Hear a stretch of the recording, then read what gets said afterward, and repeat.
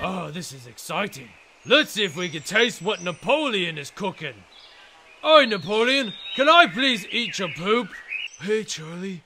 What's up? Napoleon Dynamite? What are you doing here? Inventing pooping? Duh.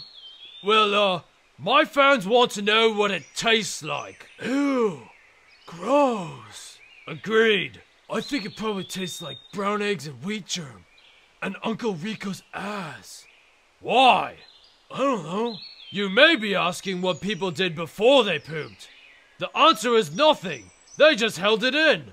That's why old people always look so pissed off. How's it coming over there? Just a second. Gosh. Uh, come on, we have to hurry. My time window closes in 30 seconds. Almost there. Ah, Eureka. Uh, you sure you guys need to know this? Ah, fine. Does it taste like Uncle Rico's ass? Oh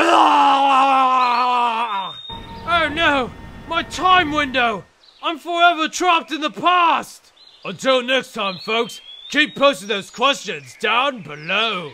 You want some steak? No.